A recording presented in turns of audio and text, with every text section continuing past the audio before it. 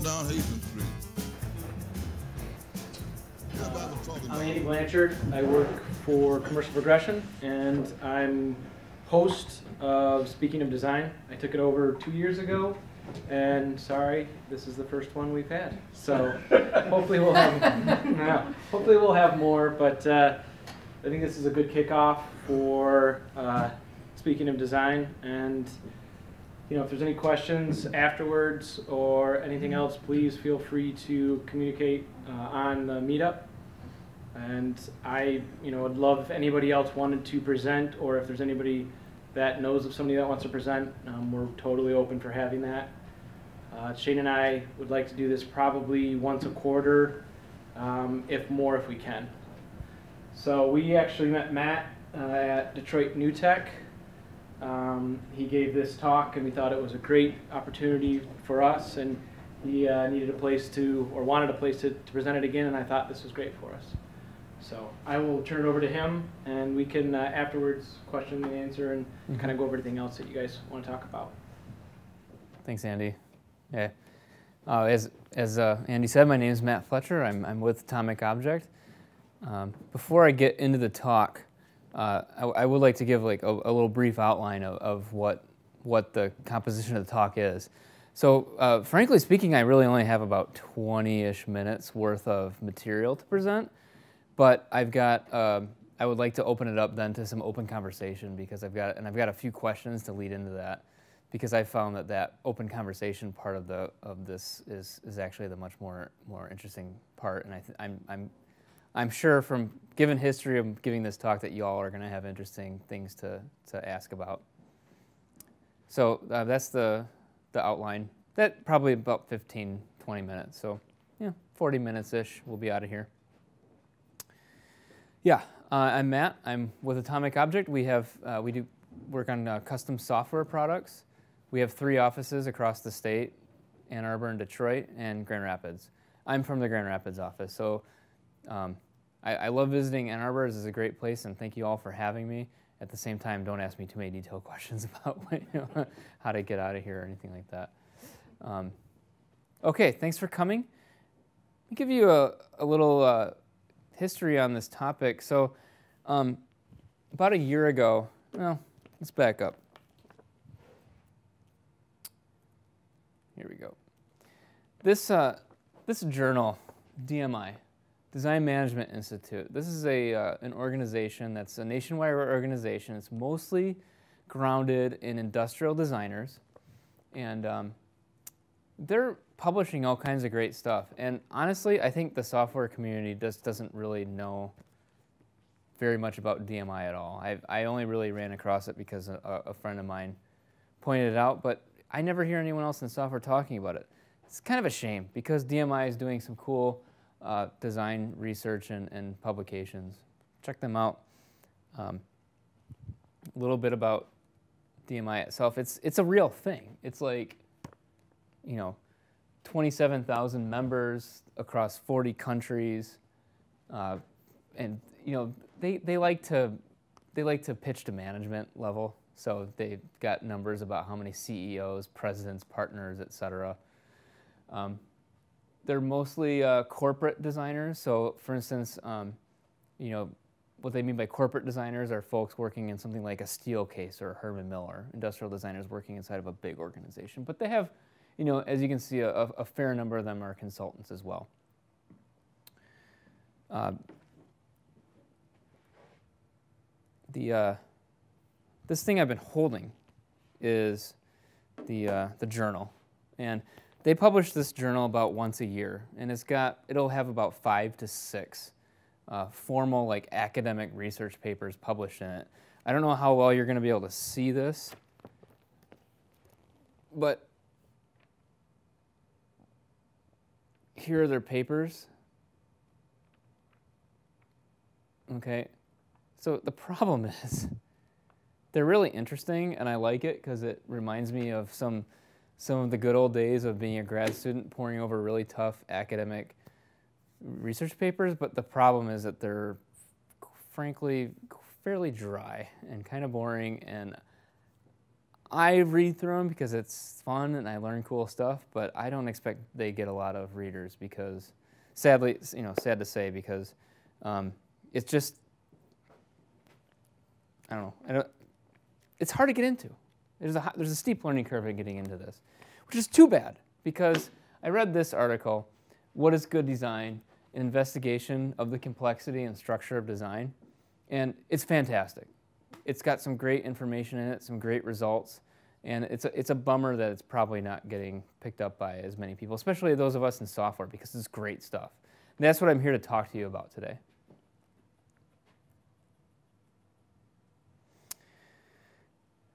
The authors start out the conversation by talking about uh, why, why does good design matter? And that kind of sounds like a, you know, a well duh thing because like, oh, of course good design is important.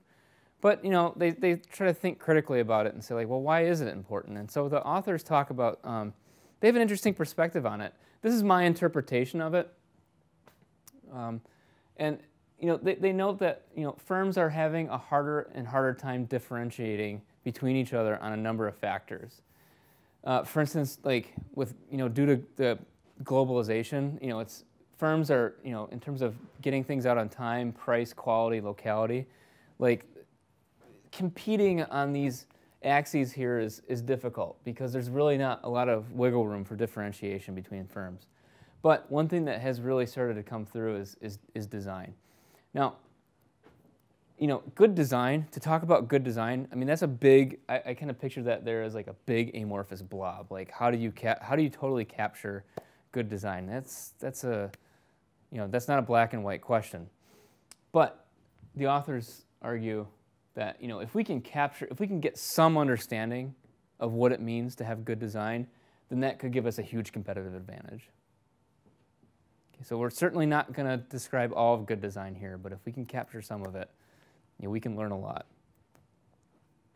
So the, uh, the author said, you know what? You know, we talk about good design all the time and, and we, we value it, but like what is, what the hell is it actually? So like let's, let's take a crack at it. Let's, let's use some uh, research um, approaches here to, to try to put some numbers on these things and identify these characteristics of good design. So here's what they did in their study. Um, at one of the DMI conferences several years ago, they had about 109 industrial designers who participated in their survey. These designers have both, both corporate and consultant backgrounds. So some were internal at like a Steelcase or whatever, and others are consultants. They got them, uh, they, gave, they gave out the survey, and what I kind of picture is getting like a half sheet of paper, or, or maybe like a full sheet of paper with a question up top and you know you write your answer in below. The question was, quote, please tell us your definition and criteria for good design. Please be as specific as possible in listing aspects and elements of good design in your view. End quote. It's an open-ended question, and uh, you know I kind of I, I don't know exactly how it played out because I didn't see it, but I kind of picture people would go in and they would they'd fill in the bottom half like a, a few sentences describing, you know, what is good design to them. So how did it break down? Well, um, the authors went through all of the responses and they identified things that they called thought units. Now, this is an approach I'd never heard before, but I, I, some friends that are involved in the social sciences said this is a fairly typical approach that you can take in the social sciences where you don't have like firm black and white, you know, mathematical numbers you can put on things.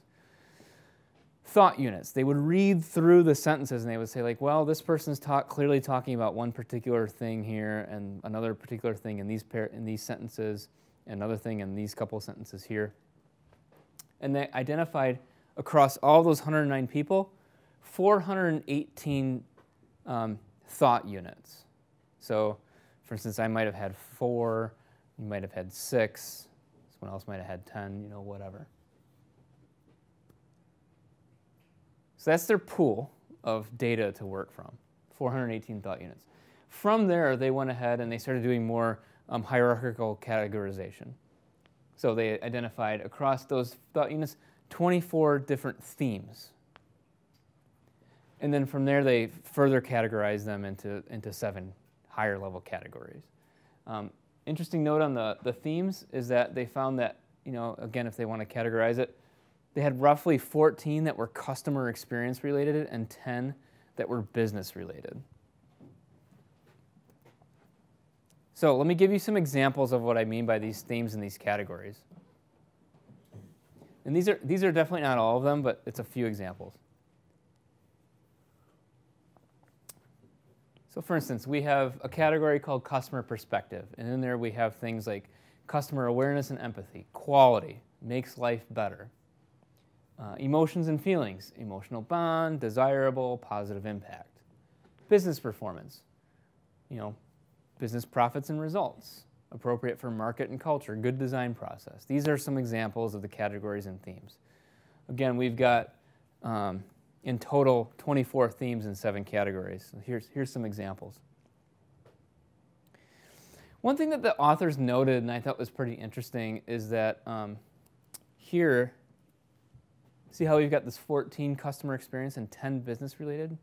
That's like roughly half and half of the aspects of good design that are important to the end consumer and things that are important to the business.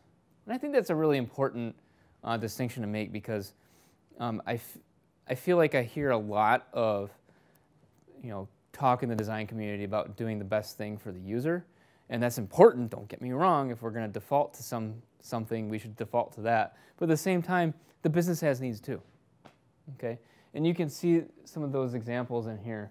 For instance, um, on the customer side of things, we've got the customer perspective and emotional feelings aspect, you know, categories and aspects of design. But on the business side, you know, we have to make sure that, um, you know, we've got good consistency across our product lines and our brand, and that, um, you know, we file, follow a good process that's sustainable for our business to pursue. And last but not least, of course, we need to like get profits and make money, you know, creating and selling this product. Otherwise, we're, we're, this business is gonna, it's not gonna, it's not gonna make it for very long, right? So I think that's a really cool uh, note that they that they make about the importance between consumers and business. I'm going to flash this slide up here.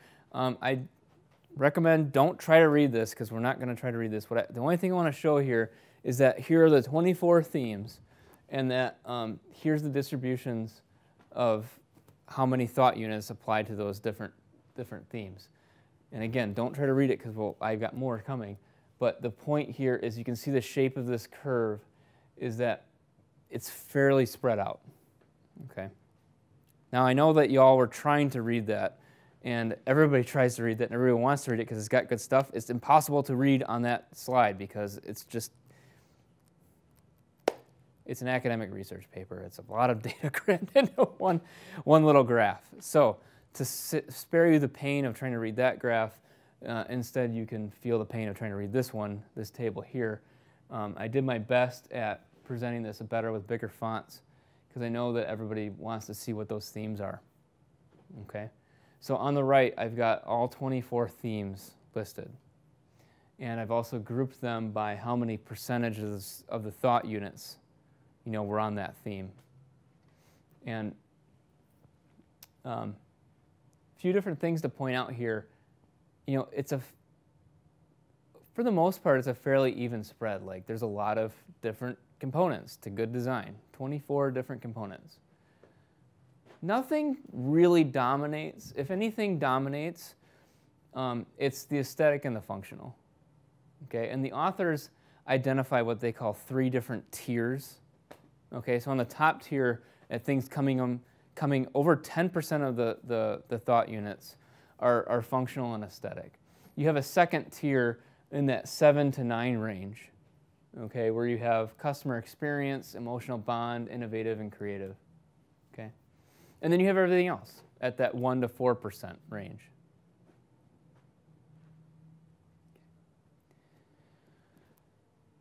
So it's fairly spread out. Aesthetic and functional might they might dominate at some level, but at the same time, that's only 24%. So even if you have a, a product that really captures aesthetic and functional, you've still only captured a quarter of what good design is.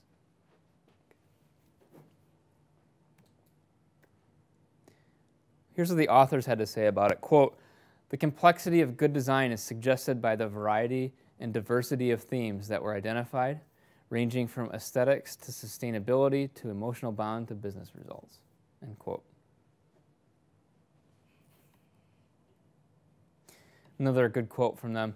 Uh, quote, the potential conflict among some of the themes is further evidence of good design's complexity, end quote.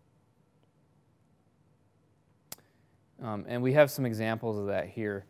For instance, um, you know, form function relationship and, and you know, positive impact and ease of, if there's, if you start, you know, appropriate environmentally, you know, there's some things that could easily be conflicting with each other. Um, again, don't try to read this too carefully. The, the, the data here is showing how do the thought units break up across the consultant and the corporate designers. One of the bars is the, the corporate designers, and the other, the other bar is the, is the consultant designers. And um, the general takeaway from this is, you know, for the most part, the corporate and consultant designers were in alignment. 19 of 24 themes were within 2% of each other. But, there's always a but, corporate designers prefer customer experience, ease of use, quality. The consultant designers prefer business profits and results and reflex period. Um, what the authors have to say about this is, quote, the corporate respondents generally have the higher percentage for the customer related themes, whereas the consultants have the higher percentage for the business profits uh, results. Where they differ, each group appears to place a higher emphasis on its direct customer, end quote.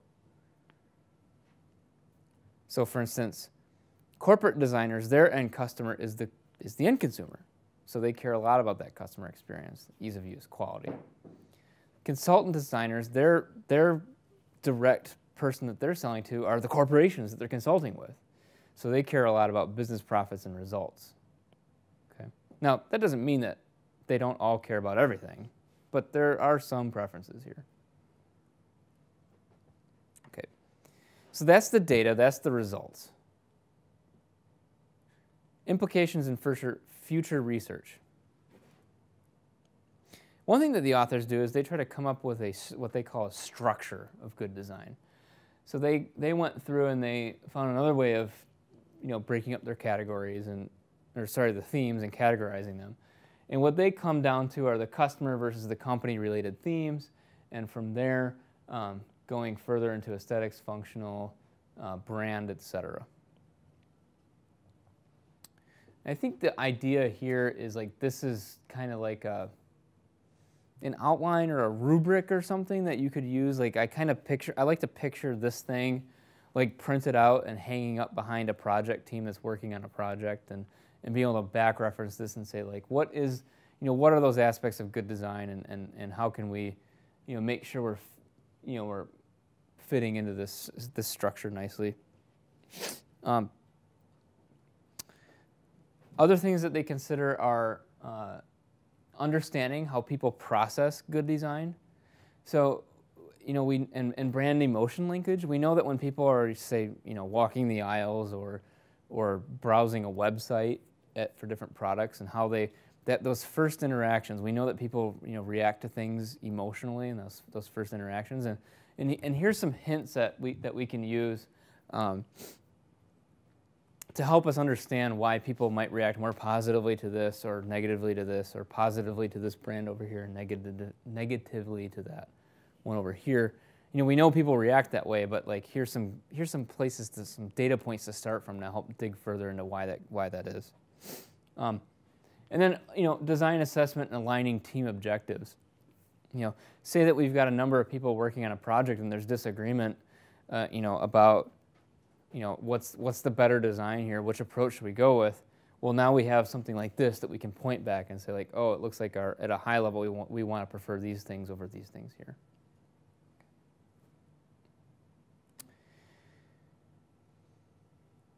All right, so uh, having a quote, having a shared understanding or definition of good design can be essential to the success of a design team and helpful in resolving conflicts between interdisciplinary design team members, end quote.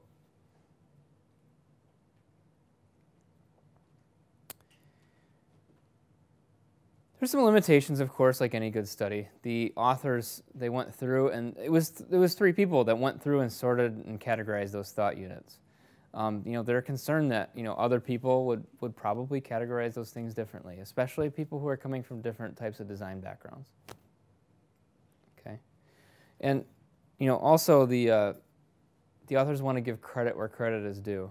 Okay, they they have not necessarily uncovered anything that craftsmen internalized hundreds of years ago. Okay, so that actually takes me through the main body of the article. At a high level, we did some research with some industrial designers. We learned that across, um, you know, asking them, you know, what is your opinion of good design? We learned that there are 24 different themes, of which a few are a little bit, you know, come up a little bit higher than others, but for the most part, 24 themes all are, you know, important. Uh, consultants and um, corporate designers are fairly well in alignment there too. So, you know, hey, big surprise, good design is hard to quantify. but we took a crack at it, and, and, that, and that's what we have. So I want to start out, um, you know, I'm going to take this to open conversation now and, and, get some, some comments and insights from people. I'm going to start the discussion with a couple of questions. Um, the one is like this. I don't know why it is, but even when we go, and, and maybe you all can help me answer this question, but why is it that we can all talk about the, the importance of good design and we can we can read through an article like this and we can be like, hey, you know, of course, you know, function and aesthetics, they're both really important. Um, we've got these other themes too, but why is it that like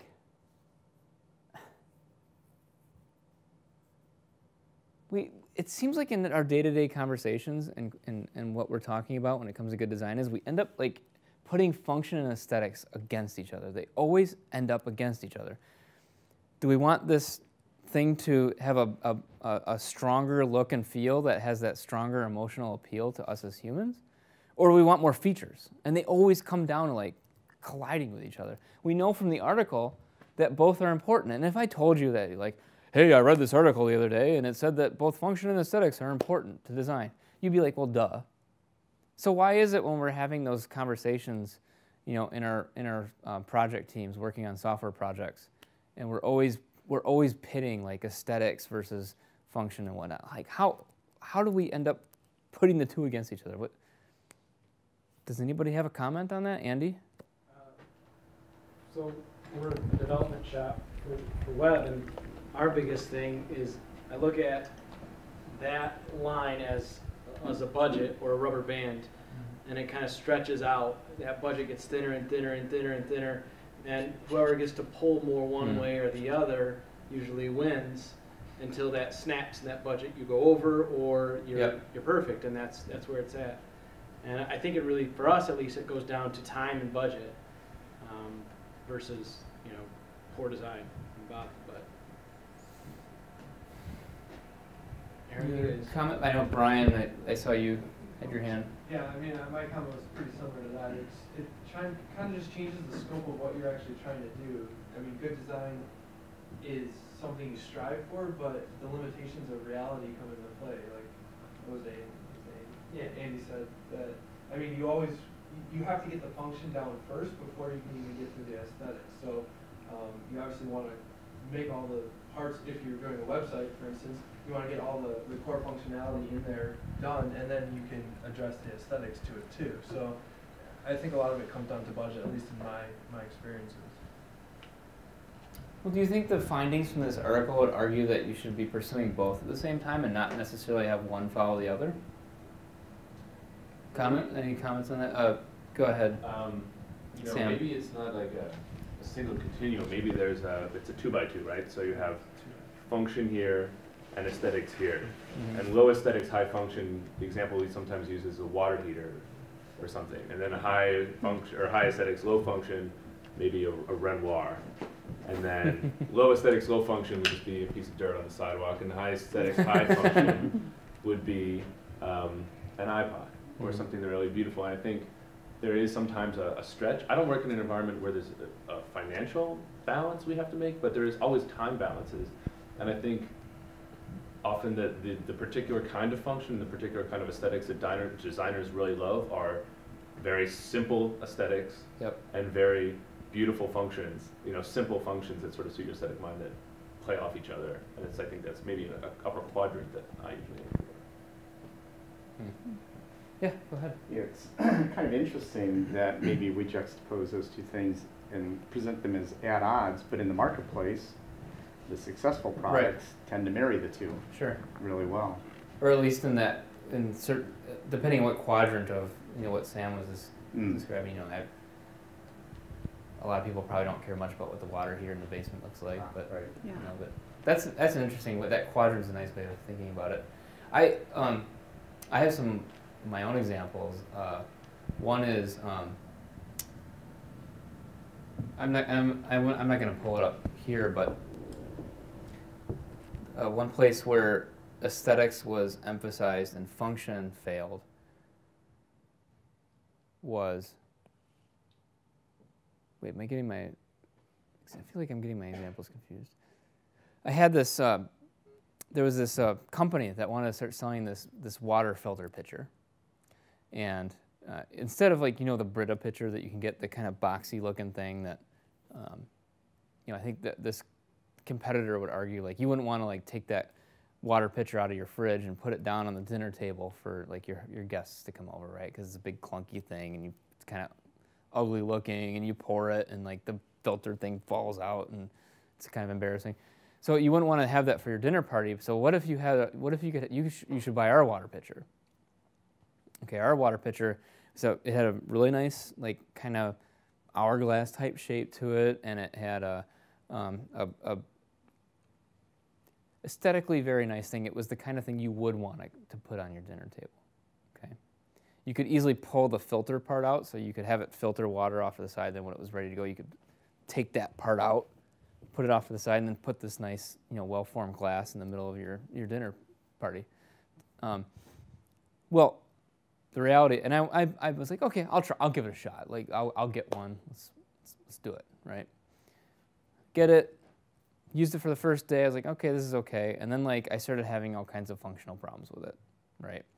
Like the at the top, like where the there's a flap, okay, where the water's supposed to. Can, can you imagine like a Brita pitcher where you have like a flap? The the the Brita pitcher, you would like squeeze your thumb and the thing kind of like swings open and then like pinches your thumb and you're like, oh, okay, and then you start pouring water in. So their solution to that was like, well, what if the pressure from the water coming out of the faucet could like push the flap open? Water goes in, and then as soon as the, the faucet turns out, the flap closes, and you know, very nice. It was cool, except when it didn't work. And I turned the faucet on, and the flap doesn't open because it didn't get hit hard enough or at the right angle. And now there's water like spraying all over my, you know, all over my shirt and like all over the counter, right? Or when I go to, to pour it, and it's just really slow to pour, and I'm like waiting forever for the water to come out. So like, yeah, that was um, that was an interesting example of like a, a, a of a product that took the strong aesthetics and they tried to they, they tried to get the function, but they didn't quite get it, and it was they came up sh- just short enough that I was like a disappointed customer and ended up asking for a refund and everything. So like, that's kind of a bummer. Um, but you know, I, I give them props, like or props. They they tried. They they took a crack at it, and I hope that their next. I gave them feedback, and I hope their next rev they nail it because it's cool, cool thing. It was a good example to me of why like why you'd want both. Um, so another question I have for the group. Um, are, are these results something you feel like you could use and apply, or are they still too abstract at this point? So if I if I had handouts, and I handed out something that had maybe this on one sheet of the one side of the paper, and then like maybe on the other side, like this data, like is this something that you feel like you could take and use directly, or is it like, like I said, is it too abstract at this point? Because that's something I've been kind of concerned about personally. That it's still a little too abstract. What, what do y'all think? I think it's kind of abstract because it's like, how do you measure, like, what aesthetic is, like, quantifying that, like each of these different things. So. So you mean like if uh, you want to sit down with the team and evaluate the aesthetics of this particular prototype or possible design or whatever, it's Because it's like aesthetics is kind of subjective too. you're not gonna be like, oh, hey, who thinks this is pretty? Like, everyone raise your hand, you know? So, Yeah. I I think in our last talk, or your last talk, Yeah. we talked about this as far as, for me, I can see a use case, um, whether it's an internal client or an external client, on a project, setting down with them and having them actually fill this out Hmm. as far as reflecting to the project, like what's important to them. And then they fill out the percentages, what's important. You mean like this? Have them actually address this question? Actually, the, the chart that you had of Yep. aesthetics, function, This one. um, ease of use. And we see a lot of times that clients will go through a whole project and they'll have one thing, and they'll told us one thing in the very beginning, and then they get to the very end and they're like, actually, we wanted it to function better. And it's like, well, you said you wanted it to look really nice and spend half your budget on that, or three quarters your budget on the, on the design and not on the function. So it's just as, as a good case to measure against the beginning and the end of what was important to the end client. Yep. Do you find that, is that in your experience is that often the same person or is it different people from the same organization that have conflicting views on Uh, usually, usually it's the same person. same person? Yeah, I mean, as they get through the project, I mean, we're continually showing them what's going on and keeping them in the loop, but um, whether it's somebody else is telling them through the process, hey, we need to add this in there, or that didn't get achieved correctly, um, it, you know, it just kind of morphs into something different. And this, even if it is just a good check to go back and say, you know, this is what you wanted, are we moving in a different direction? And if so, Yeah. that may change the scope of the project. Yeah, I wonder if, as well, you could, while you're in the course of developing the product, you could have weekly or monthly or whatever, some frequency check-ins with uh, the whole team and say like, are we still, are we hitting what our preferences were for these aspects of good design, or are we drifting, and is that okay? You know, Yeah. like have frequent check-ins on that. Um, yeah, In the spirit of there are no dumb comments, would it be worth considering kind of collapsing so many attributes or themes into maybe a little bit more broader buckets so that you had fewer of them? I mean, I'm just imagining a discussion with other, with teammates or, or clients, if you're a consultant, some way to wrap your kind of head out around these yeah, so the. simpler way. Yeah, so you're, uh, you saying that like, uh, if you were to present this to clients or whatever, it might be, it's like, oh, 24, like, whoa, that's how am yeah, I a supposed little to? bit. I mean, just to look at the list, it's, Yeah. it's a lot of things. It's a lot of things, yeah. Um, you know, the authors, I only got four, there's, there's seven total, I could look them up if you want, but they, they took a cut at, Oh, yeah, I see. you know, coming up with some Okay. categories. But then, you know, you get to this level and it- these are even more abstract, so yeah, that's, that's, right. that's tough, it's a tough balance. And you had a hierarchy too, that might be useful. Yeah, okay, let's bring up that. yeah, yeah. Oh yeah.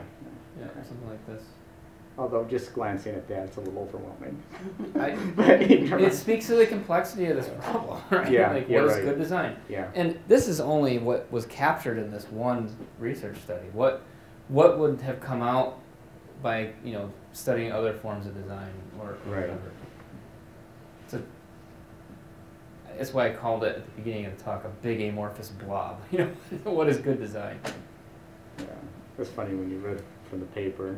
I think sometimes some academics could stand to learn something about good sentence design, like 70 or 80 words in a sentence. eh. Yeah. One thing I noticed about this hierarchy is that the first thing they divided up on is uh, customer and business themes. Yeah, thought that was curious, um, especially considering the sort of the dichotomy you mentioned earlier between aesthetics and function. I mean, not that that's a good way to break things up, but, But that was the first thing I would have thought of. Especially since so often, um, for many of these like sub themes, it seems like the ones that support customers also support business.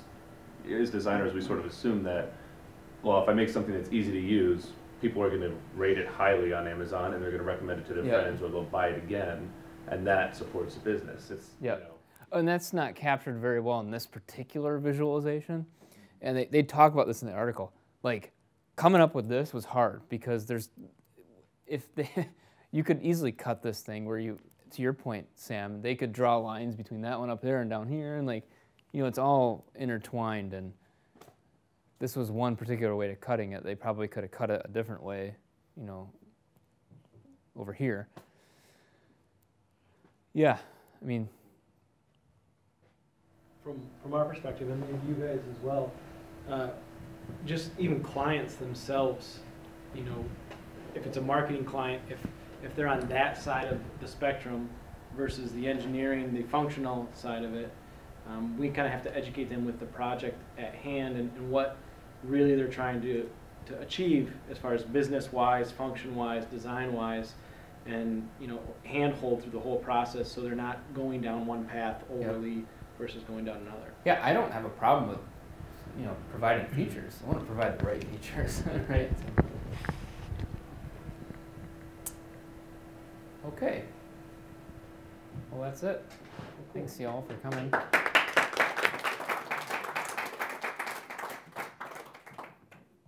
Well, thank you guys for coming. I really appreciate it.